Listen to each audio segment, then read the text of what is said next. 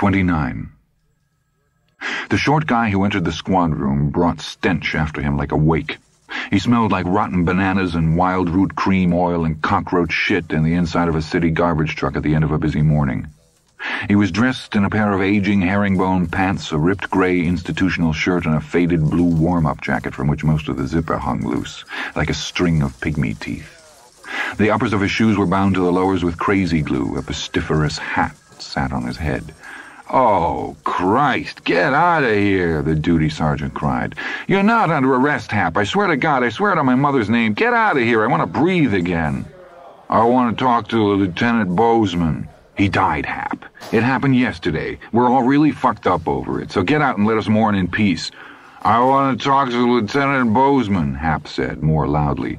His breath drifted fragrantly from his mouth, a juicy, fermenting mixture of pizza, Hall's mentholyptus lozenges, and sweet red wine. He had to go to Siam on a case, Hap. So why don't you just get out of here, go someplace and eat a light bulb? I want to talk to Lieutenant Bozeman, and I ain't leaving until I do. The duty sergeant fled the room. He returned about five minutes later with Bozeman, a thin, slightly stooped man of fifty. Take him into your office, okay, Dan? The duty sergeant begged. Won't that be all right?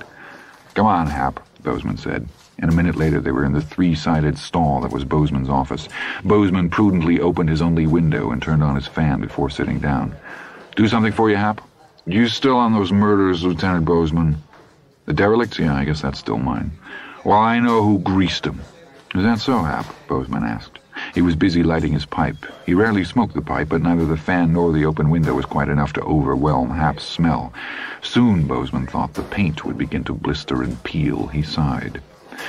You remember I told you Paulie was talking to a guy just the day before they found him all cut up in that pipe? You remember me telling you that, Lieutenant Bozeman? I remember. Several of the winos who hung around the Salvation Army in the soup kitchen a few blocks away had told a similar story about two of the murdered derelicts. Charles Sonny Brackett and Peter Poley Smith.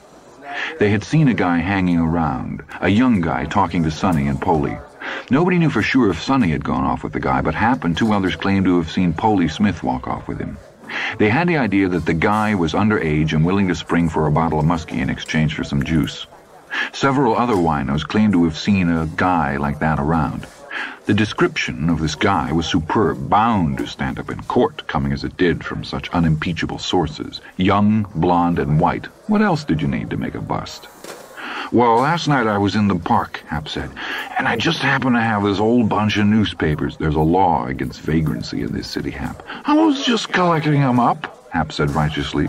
It's so awful the way people litter. I was doing a public service, Lieutenant, a friggin' public service. Some of those papers was a week old. Yes, Hap, Bozeman said. He remembered vaguely being quite hungry and looking forward keenly to his lunch. That time seemed long ago now. When I woke up, one of those papers had blew onto my face and I was looking right at the guy. Gave me a hell of a jump, I can tell you. Look, this is the guy. This guy right here. Hap pulled a crumpled, yellowed, water-spotted sheet of newspaper from his warm-up jacket and unfolded it. Bozeman leaned forward, now moderately interested. Hap put the paper on his desk so he could read the headline. Four boys named to Southern Cal All-Stars. Below the head were four photos. Which one, Hap? Hap put a grimy finger on the picture to the far right. Him. It says his name is Todd Bowden. Bozeman looked from the picture to Hap wondering how many of Hap's brain cells were still unfried and in some kind of working order after 20 years of being sautéed in a bubbling sauce of cheap wine seasoned with an occasional shot of sterno. How can you be sure, Hap? He's wearing a baseball cap in the picture. I can't tell if he's got blonde hair or not. The grin, Hap said. It's the way he's grinning. He was grinning at Polly in just that same ain't life grand way when they walked off together. I couldn't mistake that grin in a million years. That's him. That's the guy! Bozeman barely heard this last. He was thinking and thinking hard. Todd Bowden. There was something very familiar about that name. Something that bothered him even worse than the thought that a local high school hero might be going around and offing winos. He thought he had heard that name just this morning in conversation. He frowned, trying to remember where. Hap was gone, and Dan Bozeman was still trying to figure it out when Richler and Weisskopf came in and it was the sound of their voices as they got coffee in the squad room that finally brought it home to him. Holy God, said Lieutenant Bozeman, and got up in a hurry. 30.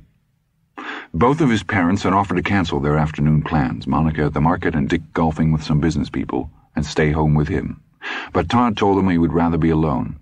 He thought he would just clean his rifle and just sort of think the whole thing over, try to get it straight in his mind. Todd, Dick said, and suddenly found he had nothing much to say. He supposed if it had been his own father he would have at this point advised prayer, but the generations had turned, and the Bowdens weren't much into that these days. Sometimes these things happen, he finished lamely, because Todd was still looking at him. Try not to brood about it. It'll be all right, Todd said. After they were gone, he took some rags and a bottle of alpaca gun oil out onto the bench beside the roses. He went back into the garage and got the 30-30. He took it to the bench and broke it down, the dusty sweet smell of the flowers lingering pleasantly in his nose. He cleaned the gun thoroughly, humming a tune as he did it, sometimes whistling a snatch between his teeth. Then he put the gun together again. He could just as easily have done it in the dark. His mind wandered free. When it came back, some five minutes later, he observed that he had loaded the gun. The idea of target shooting didn't much appeal, not today, but he had still loaded it. He told himself he didn't know why. Sure you do, Todd, baby. The time, so to speak, has come.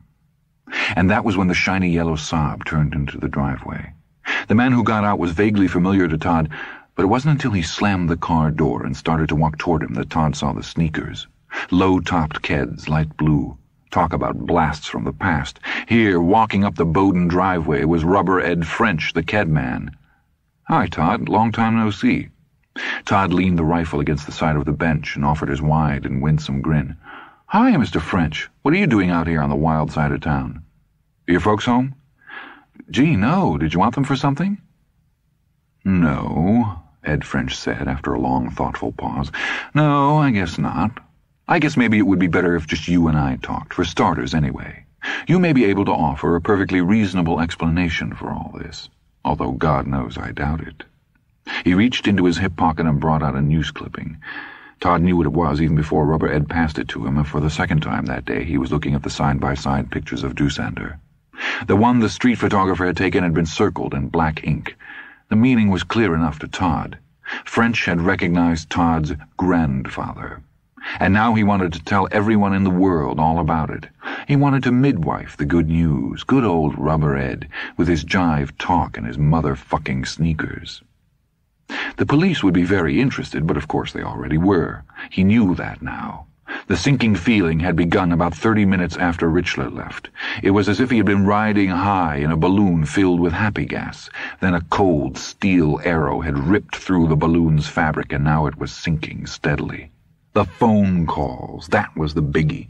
Richler had trotted that out just as slick as warm owl shit. Sure, he had said, practically breaking his neck to rush into the trap.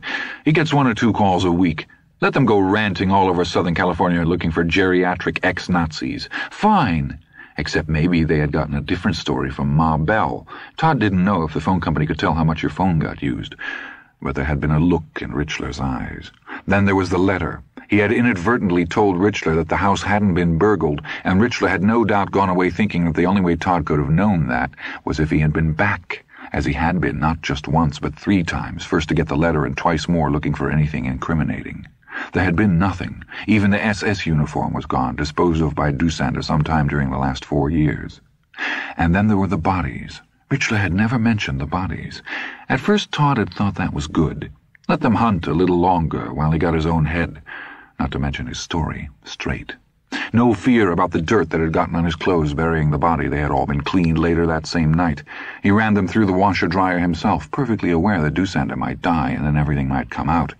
You can't be too careful, boy, as Dussander himself would have said. Then, little by little, he had realized it was not good. The weather had been warm, and the warm weather always made the cellar smell worse. On his last trip to Dussander's house, it had been a rank presence. Surely the police would have been interested in that smell and would have tracked it to its source. So why had Richler withheld the information? Was he saving it for later? Saving it for a nasty little surprise? And if Richler was into planning nasty little surprises, it could only mean that he suspected. Todd looked up from the clipping and saw that Rubber Ed had half turned away from him. He was looking into the street, although not much was happening out there. Richler could suspect. but suspicion was the best he could do. Unless there was some sort of concrete evidence binding Todd to the old man. Exactly the sort of evidence Rubber Ed French could give. Ridiculous man, in a pair of ridiculous sneakers. Such a ridiculous man hardly deserved to live. Todd touched the barrel of the 30-30. Yes, Rubber Ed was a link they didn't have. They could never prove that Todd had been an accessory to one of Dussander's murders. But with Rubber Ed's testimony, they could prove conspiracy. And would even that end it? Oh, no. They would get his high school graduation picture next, and start showing it to the stew bums down in the Mission District. A long shot, but one Richler could ill afford not to play. If we can't pin one bunch of winos on him, maybe we can get him for the other bunch. What next? Court next. His father would get him a wonderful bunch of lawyers, of course, and the lawyers would get him off, of course. Too much circumstantial evidence. He would make too favorable an impression on the jury. But by then his life would be ruined anyway, just as Dussander had said it would be. It would all be dragged through the newspapers, dug up and brought into the light, like the half-decayed bodies in Dussander's cellar. The man in that picture is the man who came to my office when you were in the ninth grade, Ed told him, abruptly turning to Todd again. He purported to be your grandfather. Now it turns out he was a wanted war criminal. Yes, Todd said. His face had gone oddly blank. It was the face of a department store dummy. All the healthiness, life, and vivacity had drained from it. What was left was frightening in its vacuous emptiness. How did it happen? Ed asked, and perhaps he intended his question as a thundering accusation, but it came out sounding plaintive and lost and somehow cheated. How did this happen, Todd? Oh, one thing just followed another, Todd said, and picked up the 30-30. That's really how it happened. One thing just followed another. He pushed the safety catch to the off position with his thumb and pointed the rifle at Rubber Ed. As stupid as it sounds, that's just what happened. That's all there was to it. Todd, Ed said, his eyes widening. He took a step backwards. Todd, you don't want to... Please, Todd, we can talk this over. We can dis... You and the fucking Kraut can discuss it down in hell, Todd said, and pulled the trigger. The sound of the shot rolled away in the hot and windless quiet of the afternoon. Ed French was flung back against his Saab. His hand groped behind him and tore off a windshield wiper. He stared at it foolishly as the blood spread on his blue turtleneck, and then he dropped it and looked at Todd. Norma, he whispered. Okay, Todd said. Whatever you say, champ. He shot Rubber Ed again, and roughly half of his head disappeared in a spray of blood and bone. Ed turned drunkenly and began to grope toward the driver's side door, speaking his daughter's name over and over again in a choked and failing voice. Todd shot him again, aiming for the base of the spine, and Ed fell down. His feet drummed briefly on the gravel and then were still. Sure did die hard for a guidance counselor, Todd thought, and brief laughter escaped him. At the same moment, a burst of pain as sharp as an ice pick drove into his brain, and he closed his eyes. When he opened them again, he felt better than he had in months, maybe better than he had felt in years. Everything was fine, everything was together. The blankness left his face, and a kind of wild beauty filled it. He went back into the garage and got all the shells he had, better than 400 rounds. He put them in his old knapsack and shouldered it. When he came back out into the sunshine, he was smiling excitedly, his eyes dancing. It was the way boys smile on their birthdays, on Christmas, on the 4th of July. It was a smile that betokened skyrockets, tree houses, secret signs, and secret meeting places. The aftermath of the triumphal big game when the players are carried out of the stadium and into town on the shoulders of the exultant fans. The ecstatic smile of tow-headed boys going off to war in coal scuttle helmets. I'm king of the world, he shouted mightily at the high blue sky, and raised the rifle two-handed over his head for a moment. Then, switching it to his right hand, he started toward that place above the freeway where the land fell away and where the dead tree would give him shelter. It was five hours later, and almost dark, before they took him down.